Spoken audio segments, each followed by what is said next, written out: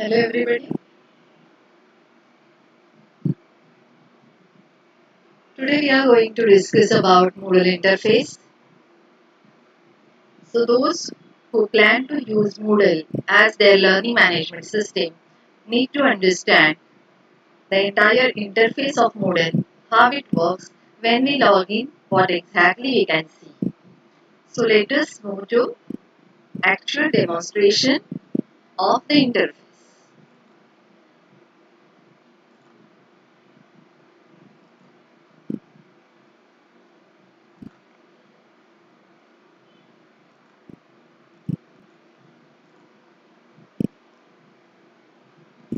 You can see here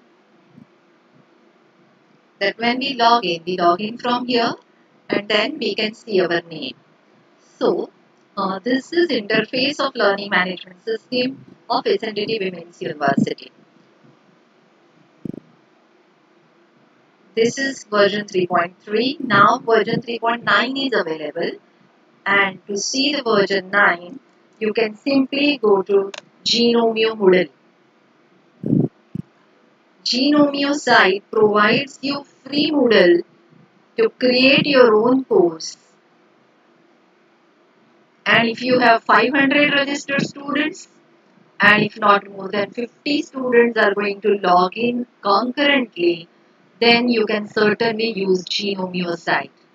If you want Gnomio to maintain your institutional Moodle, then they have charges for the entire year and in the, the, those charges you can have innumerable students, n number of students.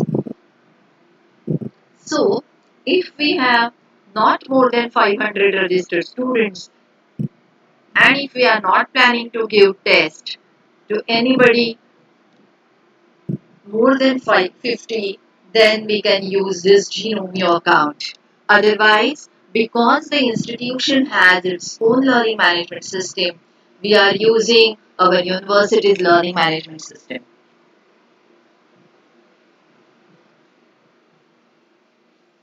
Now go back, let's go back to our university's learning management system and see the features. As I mentioned, if we log in, once we log in, we reach to this page created by our teacher. If I am a teacher and if my administrator has given me this particular page, then how do I add resources? So, let us understand that the learning area is this central part. Left hand panel shows me topic numbers because in my settings I have mentioned that I will have topics. What do I mean by topics? These are the topics already edited and below that these blank topics will be available for me. These are already added resources inside topics. So the feature is topic wise layout of this Moodle interface.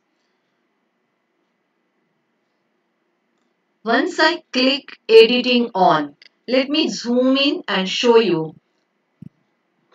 This is turn editing on button. So once I click on this particular button, then I can behave as a teacher, I can function as a teacher. Once I turn editing off, I cannot add anything, I cannot edit anything.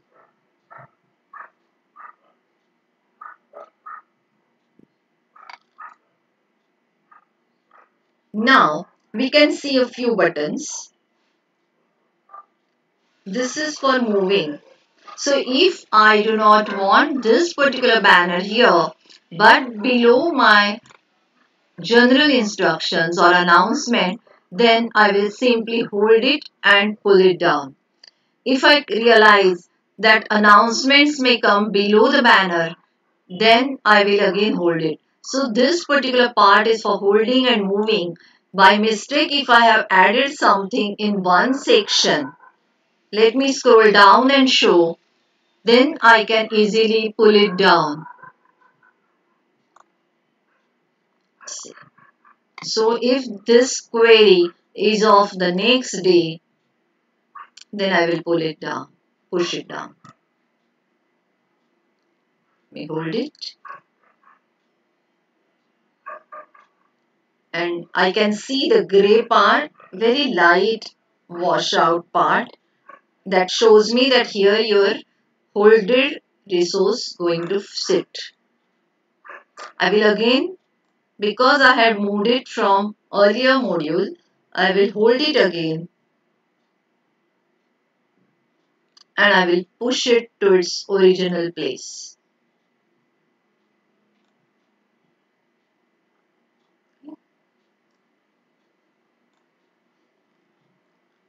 So this is for moving and you can see this is the section name.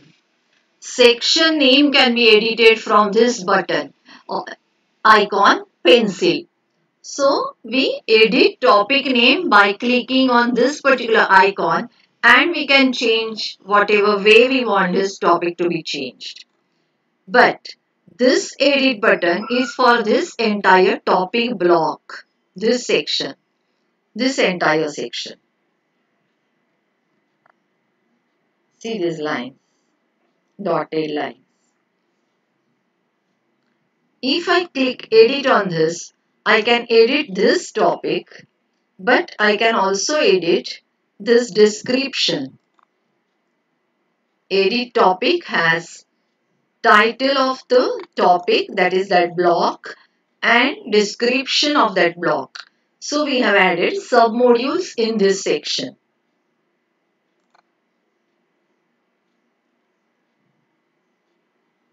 Under that many activities will be posted. So I click on this add an activity or resource to add any activities say discussion forum, say a game, say assignment folder in that section or we can also add learning resources for students. So, so we can have a file, a book, a folder. We can create a folder. All these icons are representative icons and it is very easy to remember what it means. These are universal icons. Label is the text, plain text. For example, general instruction which we have added on this course are added by using label. You can add complete page and you can also add URL. We will see this one by one later on. But remember that this particular link is very very important because the link will allow you to add. I'm talking about this link. This link is to add anything, any activity any text, quiz, query forum. So all these are added by clicking on this and opening this particular interface block. We can say box, toolbox and whatever you want you can click and say add. If you delete this topic, remember if you delete this topic by editing this topic, it does not mean you are deleting this title. It means that you are deleting this entire topic. So, if you have students assignment already uploaded in this and if you click on this edit and delete it, your entire block, this block along with quiz results, records, along with assignments, forums, everything will get deleted. So always be careful while using this edit button. Edit topic, hide topic hides your entire block. So learners cannot see this till we unhide from here. You cannot unhide only one part. See. You have to edit the entire block. Inside this block, if you do not want to reveal quiz, then you can hide it. If you do not want to open this forum before certain time, then you can hide it. But if you and even unhide it from here, show. Okay. This also I will make sure. If you hide from here, then this entire box whatever you do in this block, whatever you do in this block separately gets hidden or separately gets deleted or separately gets highlighted. So if you want to tell students that today is August 1 and today we are going to focus on this particular block, then you can highlight it. If today is not August 1 and if you do not want to highlight this, then you can remove highlighting. So I have shown you this pencil feature just to edit this title, this icon to push topic anywhere, then this edit to hide a particular element, a resource. You can even duplicate if you want. For example, if you want one quiz here also, you can change settings. But right now you want to duplicate that. Then go on edit and say duplicate. Now you will get two quiz 6 links. See. You can simply push this to the next topic and you can edit settings of this quiz. You can change name, you can say quiz 7, you can say Moodle all modules, summative quiz. You can say August 3, whatever you want, you can add here. So, you have duplicated this quiz it allows you to carry the same features inside this quiz. You are only changing name and then you can go in edit setting and whatever you want you can change. If this is only for demonstration or trial or practice, you can easily go and delete this resource. You can hide this resource so that students will not see this resource till you want to show them. If there are subsections you may like to move to right. So this subsection is pushed inside. Further, now if you do not want to push it inside, you can use this move right and then left. Okay. We will delete it now. So this is all about this interface. Not to worry, as a teacher, you can simply use this interface by using only these two, three icons, two, three links.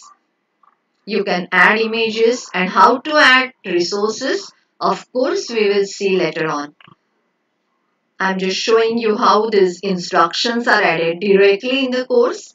So, the feature of add label is used here. We have seen add so add label allows you to write, type anything on this course page. Label, add and it gives you this interface. I will again show you.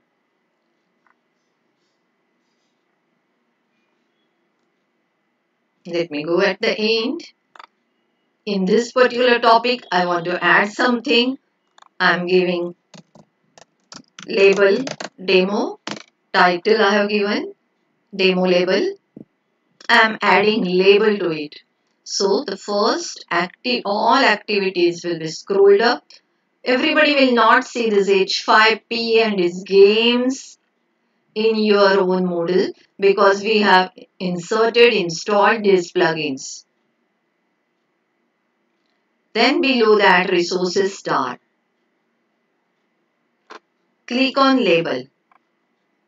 You will see description. So it is easy to learn Moodle on your own also. So you can split up by giving headings. You can put a line in between, dash in between. Once you click this, add a label, you get this interface to type what you want to type. This is just to show a demo how to add a lib text or an image on the course page. Now if you want to make it bold, you can do it. If you want to change color, just click on this brush, whichever color you want to add, add this color. Make it darker, saturate color or make it black or white depending on the color texture and submit it. If you want the same color then remember this so that you can use it again. Okay. If you click on I it's italics. Now if you want to add some sub points to it then you can select this and you can number or you can bullet. You can change color. And further, you can click on advanced buttons. And once you click on advanced buttons, see you are getting all different facilities. You can even insert a video inside this if you want to record yourself. You can add an image. Or simply if you have a video and if you want to run this video on the course page, you can add video here. If you want to bifurcate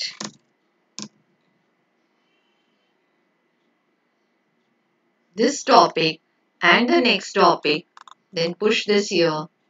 Remove these bullets. And whatever way you want to highlight add this. You can even press enter.